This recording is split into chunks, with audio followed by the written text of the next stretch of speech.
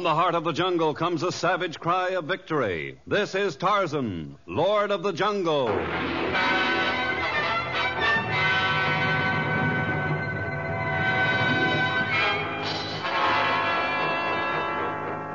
From the black core of dark Africa, land of enchantment, mystery, and violence, comes one of the most colorful figures of all time, transcribed from the immortal pen of Edgar Rice Burroughs. Tarzan, the bronzed white son of the jungle. And now, in the very words of Mr. Burroughs, the story of a message to Fort Shabier.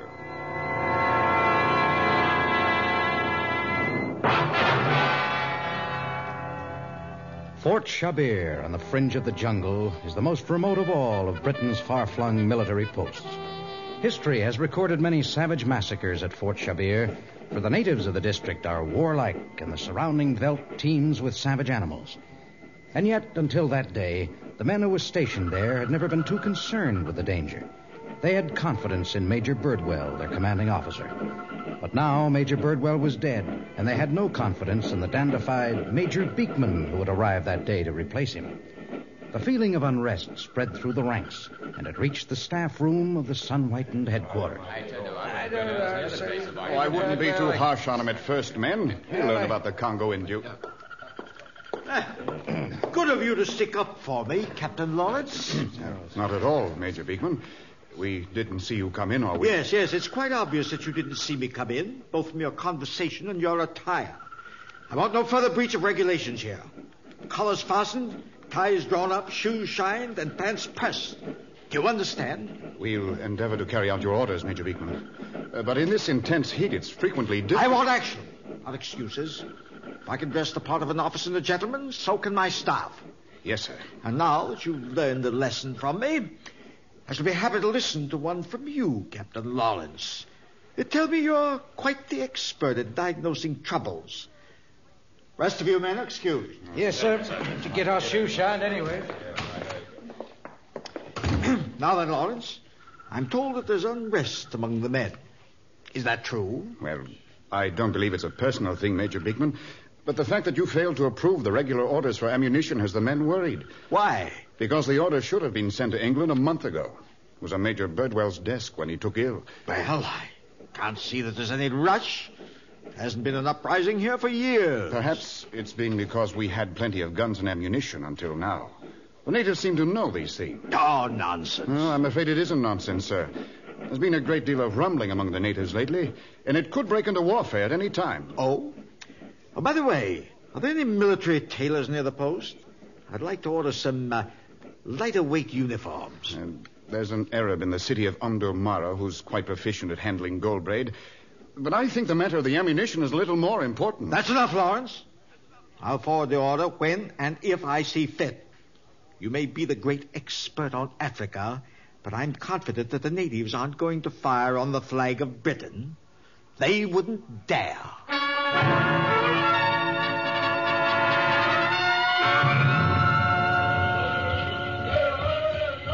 But even as Major Beekman waved aside the possibility of an attack from the natives, the warriors of the Kamuema tribe gathered about their council fire.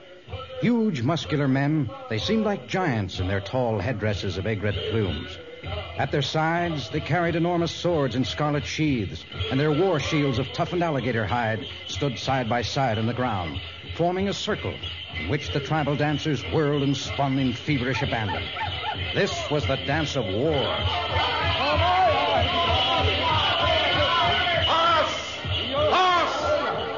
Why you stop war dance, Janokimo? Hundred years our men dance, wave swords, throw spears. But English still take our land, kill our warriors. But you say we make war now. Dio. But now that dance is over, we put away swords, spears, arrows. This time we use white men's guns. Janokimo, chief of Kamuema, people has many guns, much bullets. White soldiers at Fort Shabier not have much bullets. Janokimo knows. We kill them. Start tonight for Fort Shabier. Seal, seal. We not start tonight. This time warriors of Kamuema have guns and many men to help. Even now, warriors, other tribes on way to our village. We wait for them. When we strike, will be thousands and thousands of natives. We not stop until last white man gone from Congo.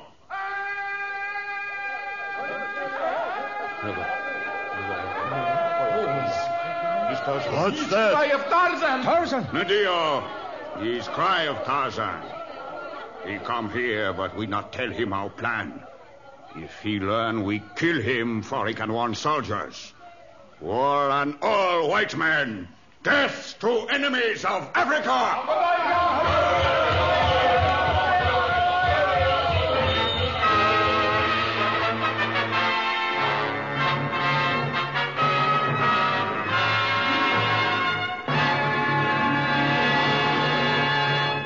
We'll return to our story of Tarzan in just a moment.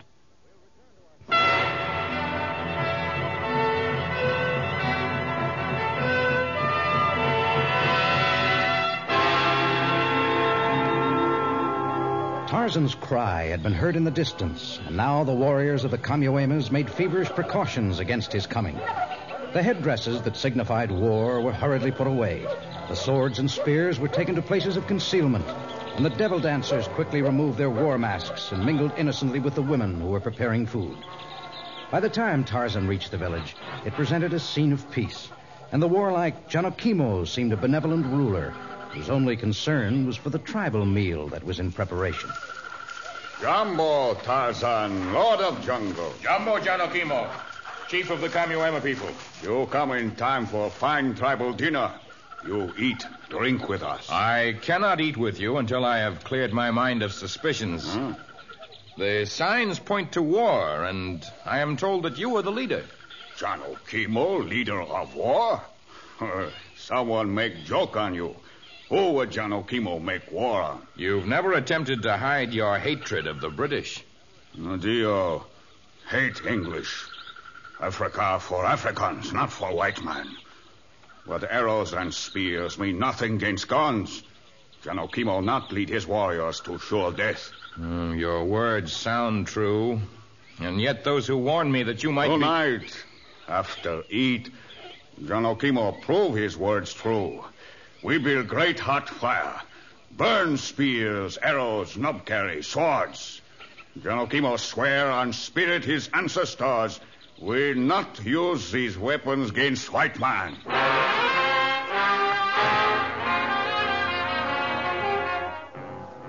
Convinced that the rumors of war were false, Tarzan remained to share the tribal dinner of the Kamuema tribe.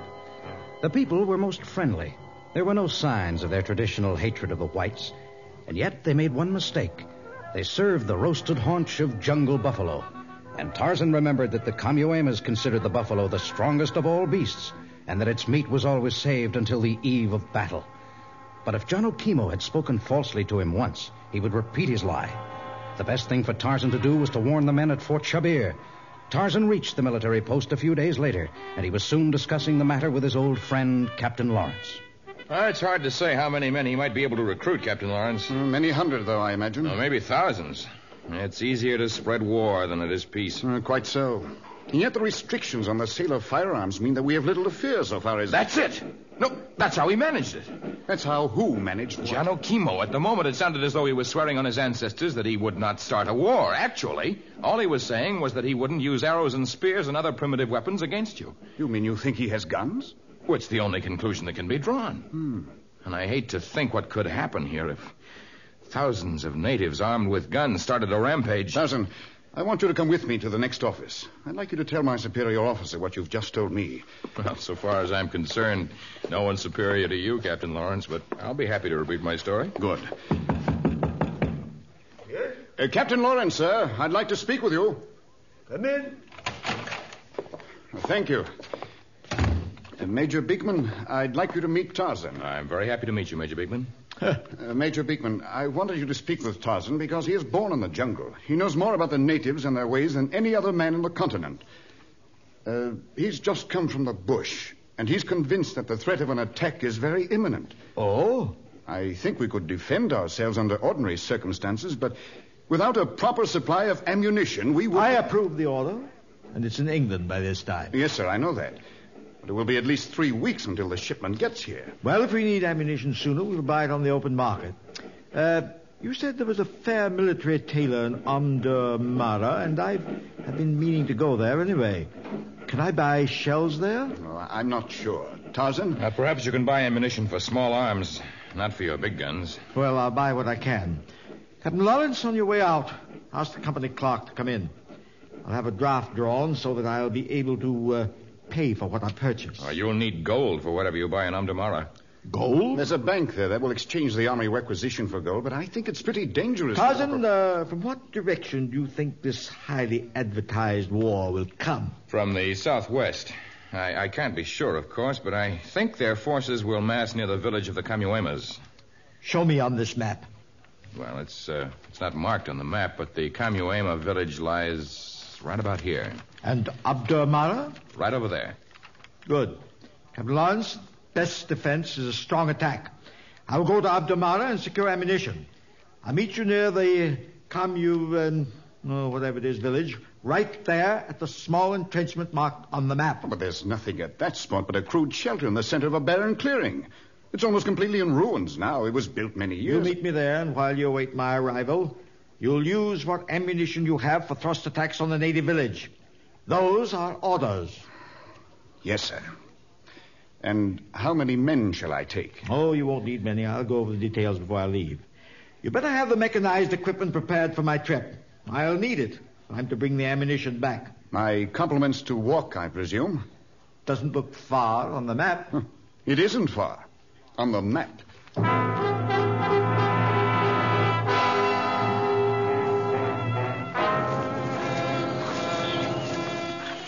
Afternoon, Major Beekman left for exotic Omdurmara, and that night, by the light of flaming torches, a small company led by Captain Lawrence started its safari to the jungle entrenchment that lay near the Kamuema village. His men, although trained soldiers, were unused to such a march through the jungle, and as the days passed, they dropped like flies beneath the heat of the equatorial sun. And only the constant help and guidance of a bronzed white jungle savage enabled any of them to reach their destination alive. But at last they were there. They had reached the desolate shambles that had once been an outpost for an early white conqueror. It stood there in the center of a large patch of barren rock, an easy target for natives with guns. Well, doesn't look like much. Well, if it's to protect you at all, it will need rebuilding. Yes, I suppose so. And when that's done, we're to start our thrust attacks. I'm afraid there isn't much thrust left in us. All you can hope to do is to stall for time until you get an adequate supply of ammunition. A little sleep actually seems more important now. Yes, you, you and your men had better get a night's sleep. I- I'll stand watch and I'll warn you if any danger approaches. And if you ask me, our greatest danger is in Omdurmara. I hope he's found the right braid for his uniform by this time.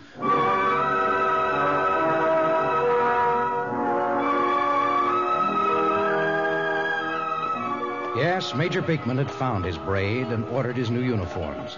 He had also converted his bank draft into gold, and it rested snugly in his pocket.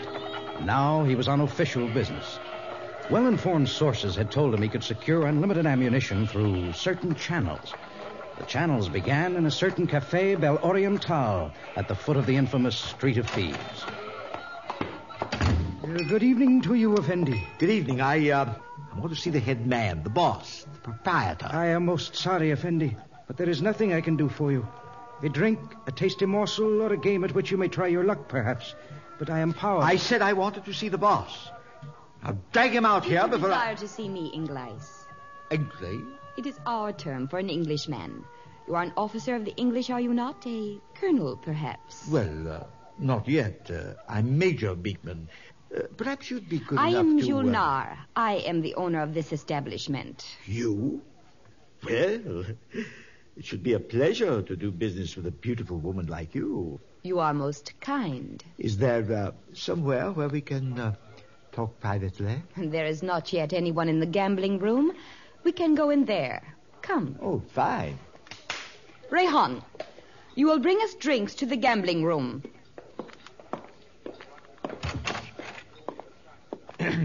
Uh, now then, Miss Julnar, I've, I've been told that you, you can secure guns and ammunition for me. Oh, not Miss Julnar, just Julnar. What is your first name, Major? Uh, George, George. Uh, have I been informed correctly about the uh, ammunition? You are all business. Have you no time for the preliminaries? A drink, perhaps a meal, a few extravagant compliments? You British are so, so cold. Oh, well, of course, I, I didn't mean to be rude or unfriendly. You have money with you. Gold. Yes. There you are, Julnar. You can count it while I make out a list of the things that I'll require. I think perhaps I could tell you when and where you will require the ammunition. I know a great deal about what goes on in the interior. Oh, then you believe these wild rumors of a native uprising, too? Perhaps. But you needn't bark at me, George. Without my consent, you will be unable to buy a single bullet in Omdurmara. And I only sell to those who are friendly to me.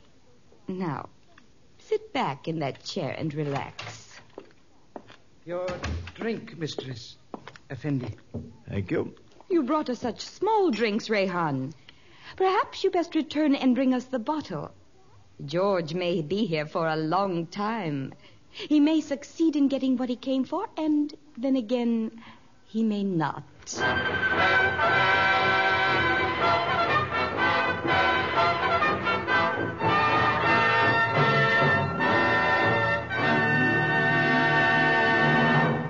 And the ammunition becomes a vital matter as a savage war begins. We'll return to our story in just a moment.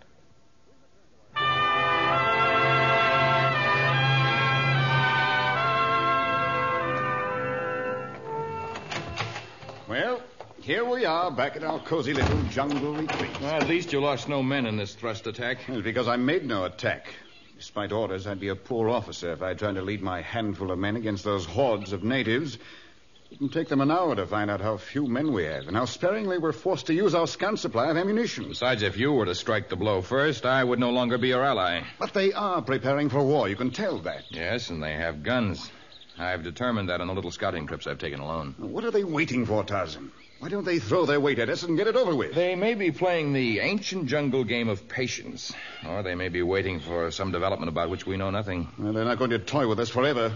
I know what I'm waiting for. Major Beekman. And he'd better get here with the ammunition in a hurry.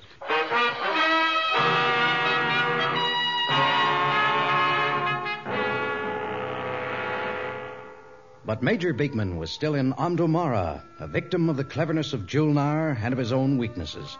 He was drinking heavily now. He hadn't slept in days, and he had developed a fondness for the decadent life at the Cafe Bal Oriental and its gambling room. He had lost a small fortune of his own, and now the gold that was to pay for the badly needed ammunition was in the center of the table. Oh, I say, I, I have to win this hand, Julnar. I can't keep losing hour after hour. Your luck at cards has not been good, but such is the fate of gamblers. Perhaps this hand will see a change in your fortune. Well, better change. I've lost money that doesn't belong to me. If I fail to get it back, I'm ruined. I'll be stripped of rank and, well, maybe worse. What could be worse than that? After buying all those handsome new uniforms. Another card, George? Yes, yes, yes. Ah. Hmm. I will have another card also. There. Aha, I think I have you this time, Julnar. Nineteen. Sorry, George. I have twenty. I say, you've got to do something, Julnar. I, I, I'll pay you back. I, I'll do anything. I've got to save my honor. You told me you doubted the possibility of a native attack, did you not? That's right. Then I tell you what I will do for you. I will have my men load your safari with empty boxes of shells. Empty, save for some rocks, which we will put inside. By the time you have occasion to use them, you can claim some unidentifiable Arab cheated you. There will be no damage done, and your honor will be left intact. Oh, my word, that's a tremendous idea. It's capital. Dummies, eh? How did you ever think of it, Julnar? I have had much experience with dummies.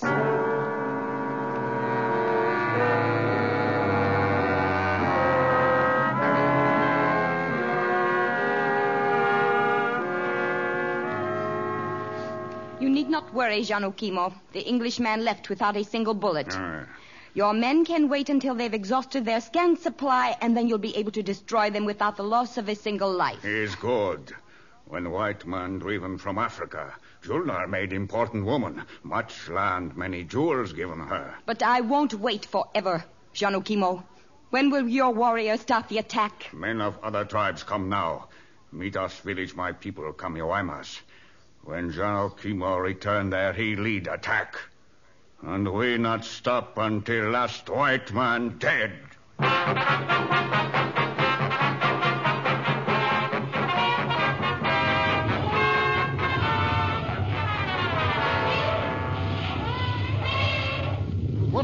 Mean, Tarzan, this mad stampede of the jungle animals? Probably that thousands of native warriors are on their way here. The animals are fleeing from their path. There's still not a sign of Beekman. Well, he probably couldn't get here anyway. The stampede is traveling in the direction from which he should be approaching. It's lucky we have this shelter, flimsy though it is. And the elixirs of the men who are with us here are condemned to death. At least the natives won't attack until the stampede is over. Well, that's something.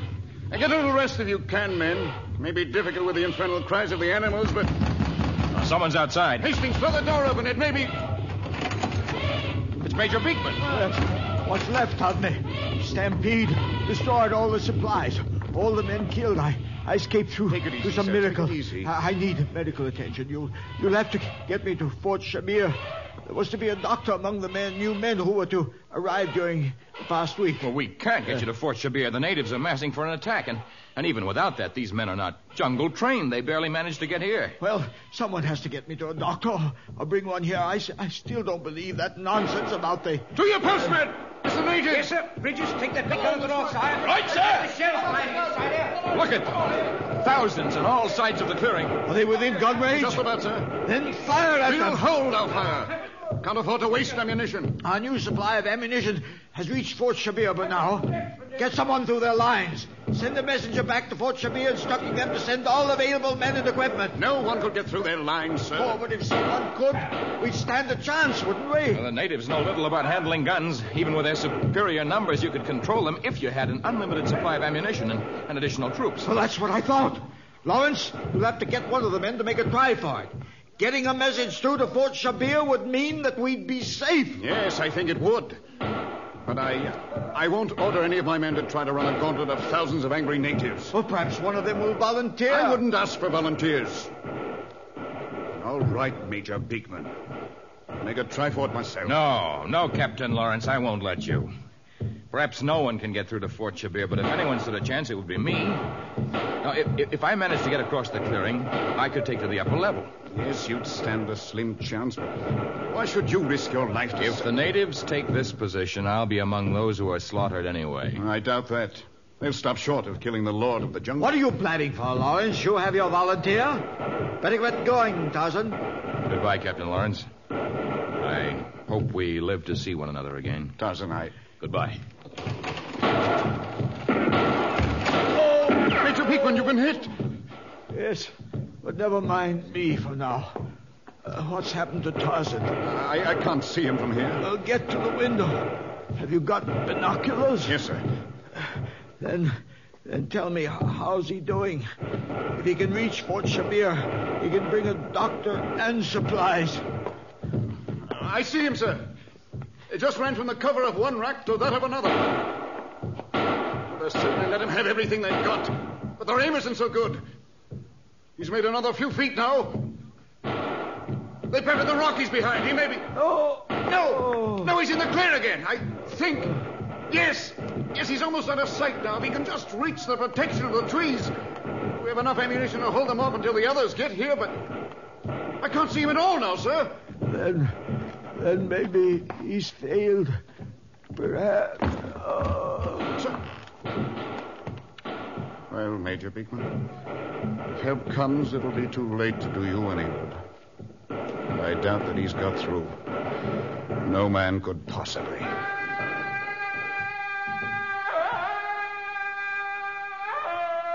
He's made it. And with nothing but jungle between Tarzan and Fort Shabier, it means we'll be saved.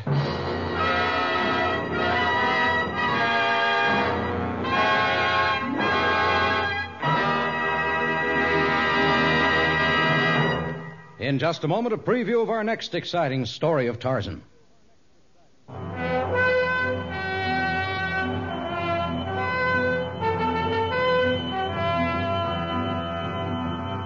November in the rain belt to the south of the equator. The days of sweltering damp heat, the nights of wet coldness. The constant fear of the jungle wilds, and the haunting dread that someone you love has disappeared in the Congo and will never be seen again. Tarzan plays a strange role in a baffling mystery entitled African Thanksgiving. Our next story of the Lord of the Jungle. Tarzan, a transcribed creation of the famous Edgar Rice Burroughs, is produced by Walter White Jr., prepared for radio by Bud Lesser, with original music by Albert Glasser. This is a Commodore production.